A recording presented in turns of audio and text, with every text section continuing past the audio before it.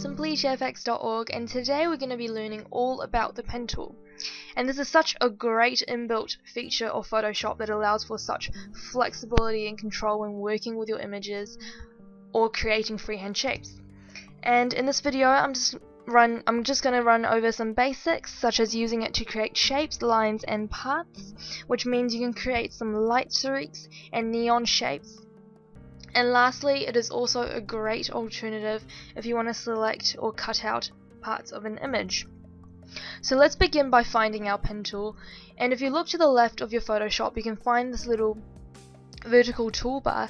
And if you go down you can see the tip of a pen. It's a little icon.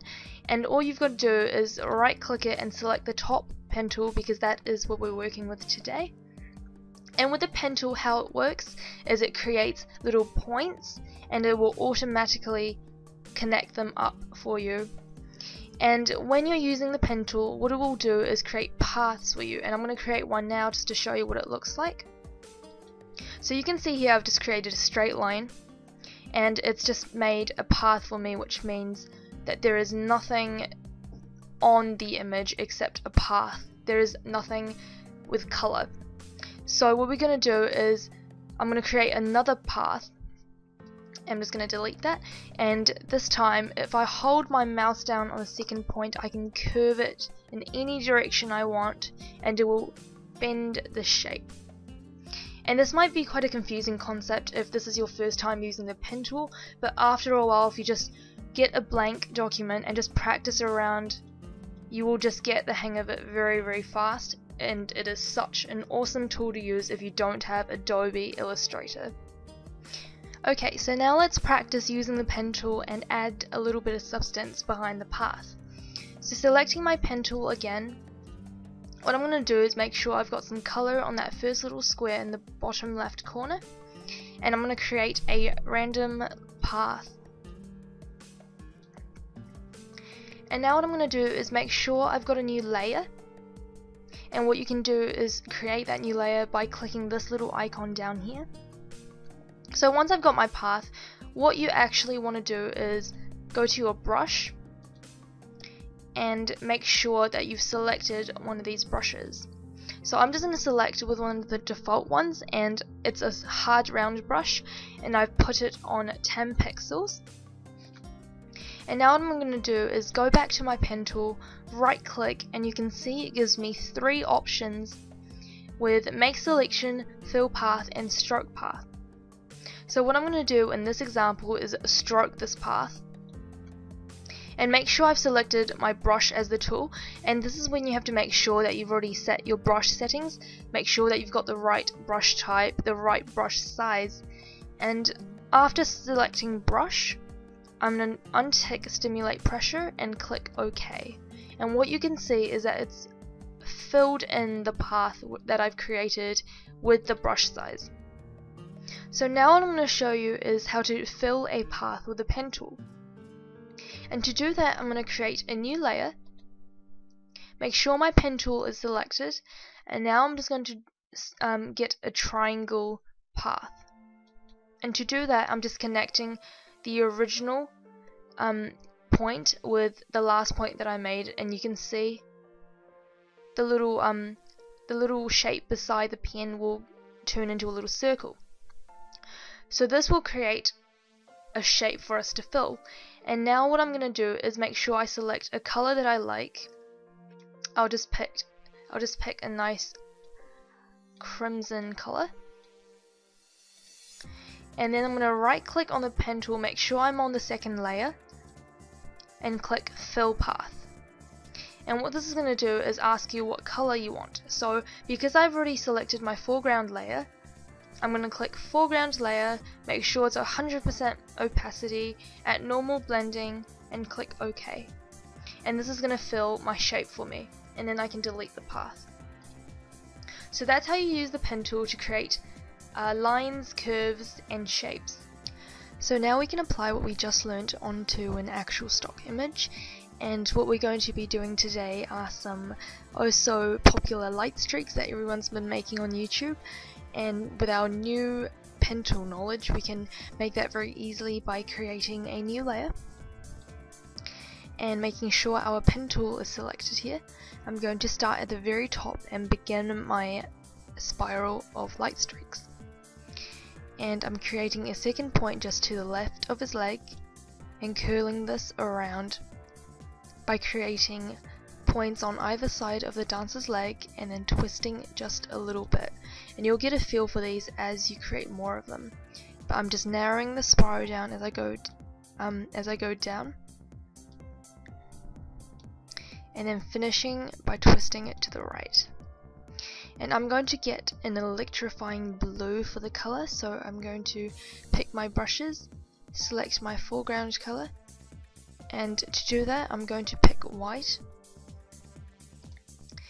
Then I'm going to go back into my brushes make sure I've selected a hard brush for this uh, particular light streak.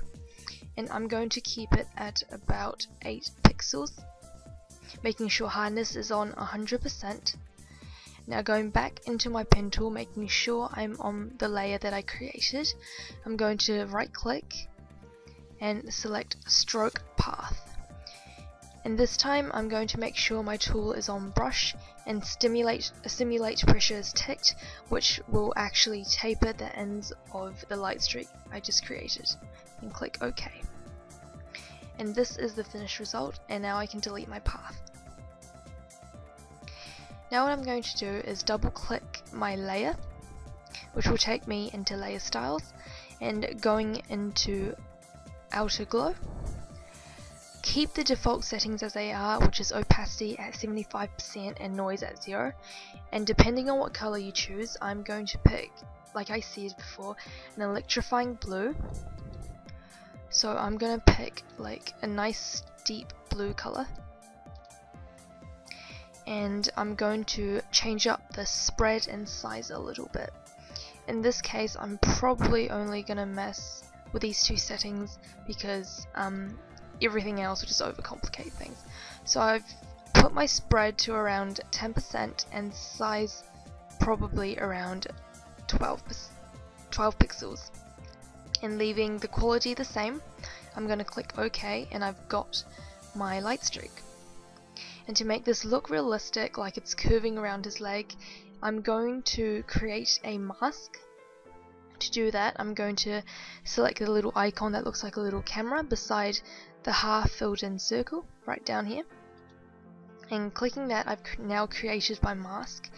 And you can use the eraser tool but because um, I have researched into this and I have realized now that masks are very non-destructive um, and how they work is uh, pretty much you make sure you've got your mask and you can paint on black or white or grey. And by using black you can erase the layer and by using white you can refill some of what you just deleted. So making sure I've got a soft brush I'm just going to be working on this mask and erasing some of the parts that I want to be um, hidden behind his leg and I want this to look realistic so I'm just going to erase every second part that curves around and working down.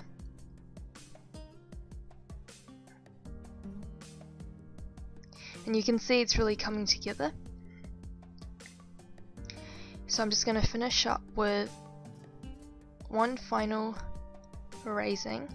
And with masks, it's very easy to correct mistakes because if I decide, oh, I don't want um, this part of my light streak hidden behind his leg, I can switch my color to white by pressing X and then filling it back in to correct any mistakes.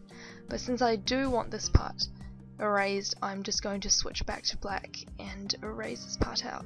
So that was a very quick and simple intro to masks.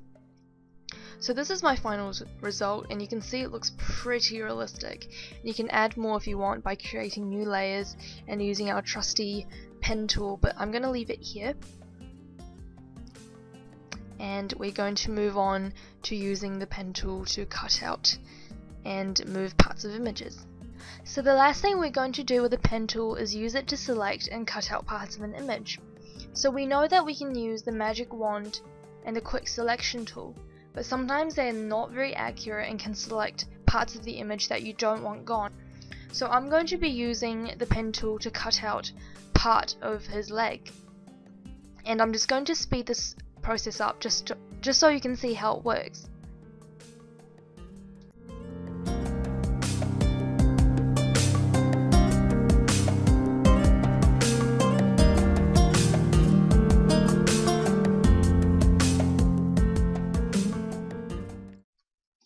Now to select it, I'm going to right click and click make selection.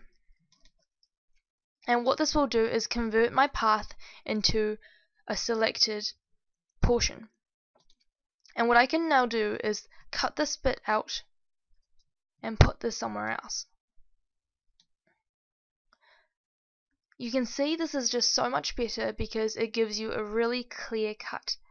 And now I'm going to try do this with the shoe as well.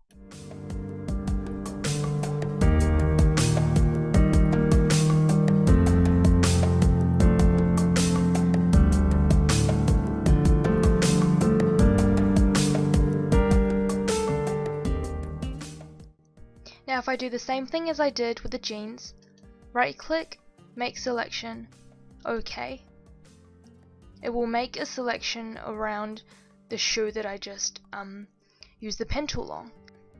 And now I can cut that again, creating a new layer, I can paste it somewhere else. So now you've learnt how to select and cut out parts of your image with the pen tool. So hopefully you learned a little something something about the pen tool today. I hope this tutorial was helpful. Give it a thumbs up if it was. And I'll see you next time. Bye.